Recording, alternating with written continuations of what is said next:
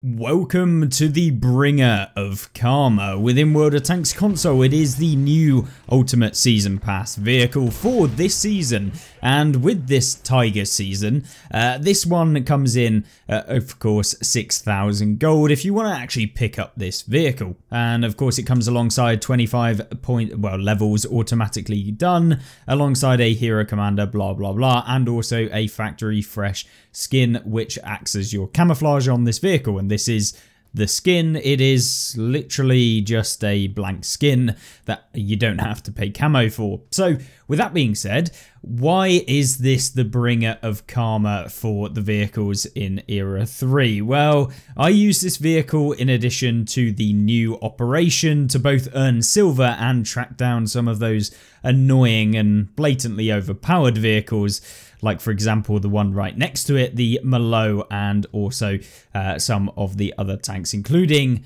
the most hated vehicle of Era 3, probably the Weasel TOW. And so, with that being said, uh, the T'Pol, or the Object 490, is what we're looking at today, and there's particularly nothing amazing about this vehicle in terms of how it actually plays in the game.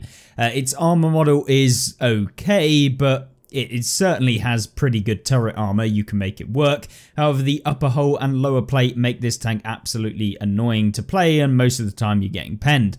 The side armor of this vehicle is also not particularly very good either so you can get penned in the side of the tank quite reliably it does have a little frontal spaced armor plate on the front of the side of the vehicle, but behind it is a 180 millimeters of armor and include the tracks. You've got about effective of probably I would say in the region about 250 to 300 effective armor on the side but given that most tanks in era 3 have upwards of 600 uh, penetration with some tanks being significantly lower everyone and I mean almost everyone is going to be able to pen you very very reliably. But uh, this thing I used it as the hunter of the overpowered tanks, and that is the ultimate reason why I wanted to showcase it today, as well as uh, kind of play it and showcase what the tank is capable of because at the end of the day this is a fast kind of medium style vehicle that has decent DPM it has good accuracy it has 6 degrees of gun depression which isn't amazing.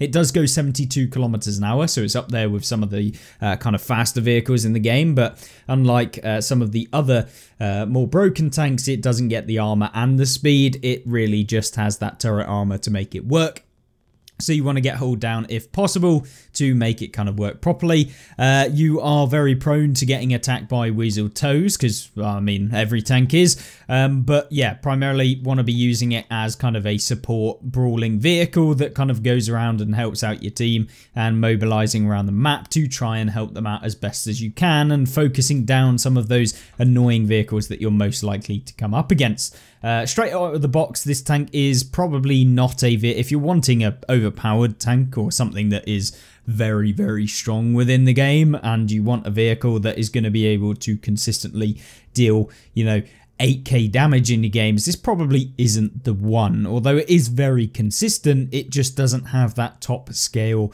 uh, or top level gameplay where it is just insanely good. It is very decent and I think that this tank is a very well balanced vehicle in comparison to uh yeah its uh, its brother here um, but at the same time you do sacrifice of course performance in your games if you play this vehicle it does get a 50% silver bonus, so it's down at the lower end of silver bonuses within um, Cold War, so you're not going to particularly earn a huge amount of silver in this vehicle, other than the fact that you, in this tank you don't really need premium rounds to make it work, since you get very good pen with your standard rounds of 600. You're dealing 550 alpha per turn, so it's pretty good.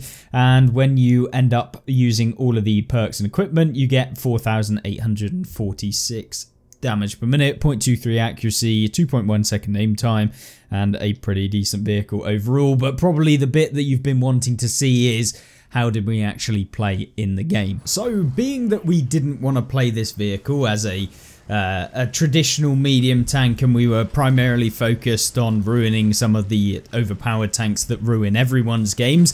Uh, we certainly didn't have as good of results as we possibly could, but of course that's all part of making content for you guys and hopefully uh, hopefully you enjoy watching this one at least getting uh, some karma redemption for some of these annoying tanks that I'm sure many of you have actually seen and focusing down some of these vehicles uh, can certainly feel very worthwhile and you're about to see that uh, in this game. We do have a 477A Malo that we're going to find later on and yeah I definitely thought that if we can remove that tank it's going to be all worth my time and my hit points so we'll see that in a second.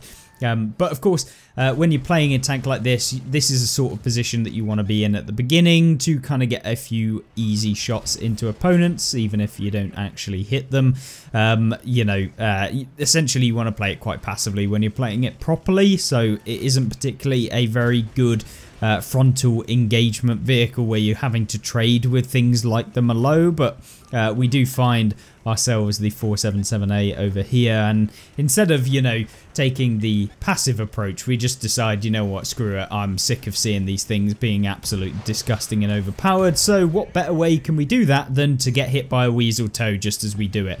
And so we go after this little 477A and uh, yeah he's running for his life. Oh dear what's that? You don't have a fully traversable turret so you can't turn around and hit me? Ah oh, what an absolute shame. Although it isn't going so well right now other than actually managing to bounce the 477 uh, or the weasel toe there. Uh, but you can see we're just coming around from behind chasing him down and kind of making our way towards the Malo making sure that we don't end up kind of exposing ourselves to the frontal part of his vehicle. And ah oh, it's such a shame that he can't turn around and hit us. Oh dear. What a nightmare for him. And ah, oh, he does us a solid by avoiding us being able to be hit by the Weasel Toe, which in fact actually ends up with him taking himself out there because the Weasel probably would have removed me before I could finish him off. But mission successful, game done, game set and match, taking one of the most annoying vehicles out of the game in this one, albeit in a fashion where we lost almost all of our hit point. Well, we did lose all of our hit points and for basically no real gain other than 400 additional hit points to the damage that we took. But either way, that's what this tank is here for. At least that's what I like to play this tank for. Now, having been attacked by the Weasel Toes so much in this game, I've decided that maybe I should uh, share the love with them as well. And so uh, We'll see what we can do and see whether or not they're going to find the same treatment as what happened with the 477A in the previous game where we just try our best to ruin their games in whatever way possible. Uh, and so in starting we are going up into the middle location. This game is actually a better one in terms of how much damage we deal. We certainly were a little bit more competitive uh, with how much damage we dealt compared to other people and we definitely didn't lose all of our hit points um, to actually do so. But Either way, what we're doing here, just getting into this central position. The enemy team, as with Cold War, it's a case of one team goes one side, the other team goes the other side, and it's literally just a case of uh, essentially uh, firing at each other across the map, which is always a fun and dynamic gameplay experience. But you can see there we managed to pick up a thousand damage. We're going for a little shot on this guy, which we actually managed to hit. So surprising there. Um, and then we try and go for another one, which we bounce, which is fantastic. And uh, this is where it is annoying um, with with trying to fire in Cold War uh, from such a distance is you don't really know if there's any obstacles, which there was against that previous guy, and you have to be a lot better at actually uh, aiming at faster vehicles and stuff like that. It's not as slow, um, and of course, yeah, leading where you think people are going to be. Now, we find ourselves a nice little 477A who's decided that he's getting in the cap rather than playing the game. Not entirely sure why you'd do that in that sort of vehicle, but hey ho. Uh, we are currently playing on the American server right now, which is um, a new experience since uh, the EU server was currently down when we were actually playing or something definitely going on because it wouldn't let me actually even pick the European server, um, which is not fun when you're trying to get decent ping.